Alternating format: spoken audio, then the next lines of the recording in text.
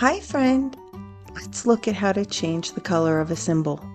First, when you find the symbol, click on the image rather than dragging it to the tray. This will take you to the image page. Here you can see other styles and colors of the image. Let's say I need a vanilla cupcake with purple frosting. Yum! Let's change the colors. Click on the Recolor and Customize button. Here you will find many ways to customize the image. Let's take a look starting with recoloring. Scrolling down I can see all the colors in the image. If I want to recolor the icing to be purple, I can click on the area to change. Notice a color palette on the corresponding color.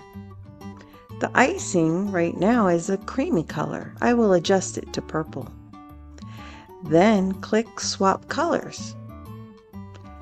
I can do the same to change the chocolate cake to a vanilla cake. This is what I need, and I can click Save Custom Symbol. There you go. Let's see what else we can do. This slider groups similar colors. If I slide the slider to the left, I can change some colors together. For example, I see three pinks, two in the paper cup and one on the sprinkles. I can slide the slider and then change all the pinks to a purple.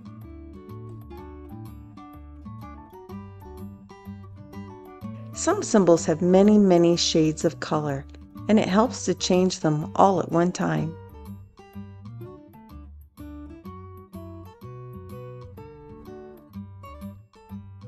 Above the Swap Color section, I can also change the outline from black to any color and change the thickness.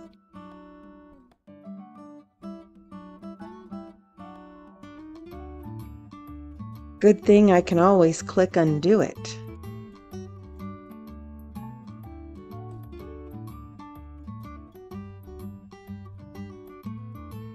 This works. For students with visual impairments, I can convert the symbols to high contrast. I can play with the image until it meets the needs of my students.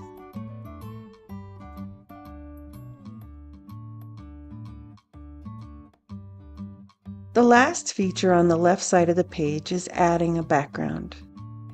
Maybe I will go back to my purple cupcake and add a blue background.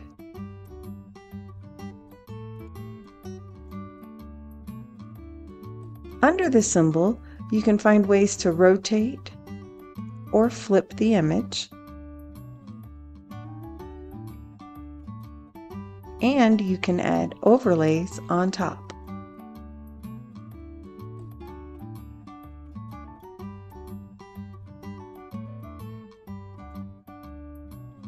When I am done, I click the Save Custom symbol and then drag it to the tray. If I need, I can click the back button to make additional changes. If I need these customized symbols later, they are found under the Your LessonPix tab, and then scroll down to Your Photos and Custom Symbols. They will also appear in search results. The green flag shows these are custom symbols, but this flag does not show when you create a material. Ta-da! LessonPix. Custom visuals at your fingertips.